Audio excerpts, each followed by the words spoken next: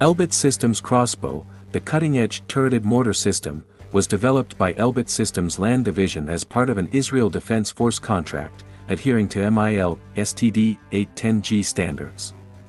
The crossbow system boasts impressive capabilities, such as the ability to launch the initial round in under 30 seconds, achieving a maximum firing rate of 10 rounds per minute and sustaining a rate of fire of 6 rounds per minute, all with minimal delay in sensor-to-shooter coordination. Furthermore, it supports a diverse range of munitions, including the Iron Sting guided mortar munition, delivering an effective range of up to 10 kilometers. Loading the crossbow turret is seamless, as it does not require indexing, and it features a 360-degree infinite pivot capability.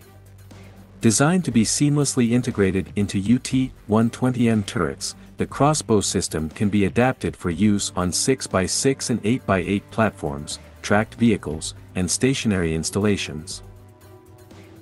This versatility ensures full compatibility with existing NATO ammunition standards.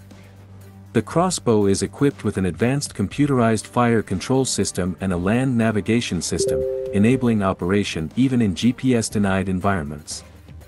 Yehuda, Udi, Vered, General Manager of Elbit Systems Land, said, the crossbow represents the latest and most significant addition to our portfolio of automated turret systems.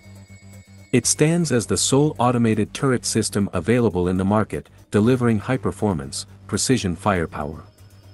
We take pride in offering our customers the most advanced platforms available today.